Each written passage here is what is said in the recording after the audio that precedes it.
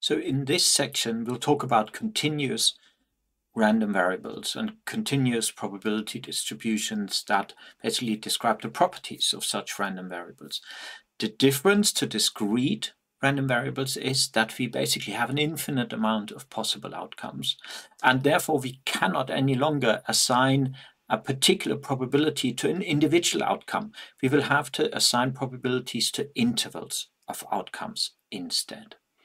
But why are continuous random variables important? Well, because most random variables or most random outcomes in society and in economics are actually of continuous nature, or many important ones, perhaps not important to quantify whether it's most or not.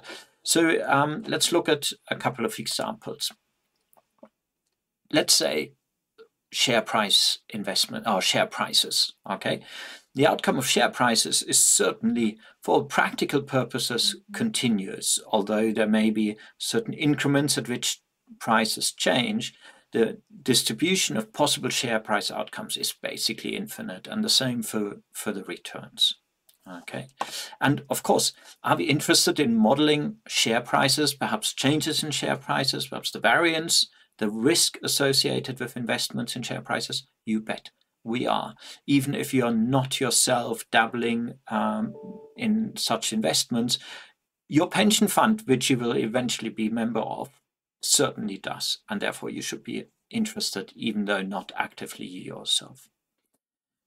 A very traditional sort of economic topic is, of course, profits of companies. Uh, we're thinking that Many, not all, but many companies are driven by profit motive, perhaps want to maximize profits for their shareholders.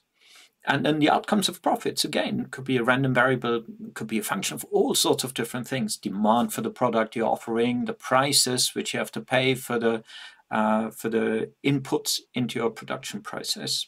Okay, so the outcomes of profits is a very complicated thing, and you should think about it as a random outcome.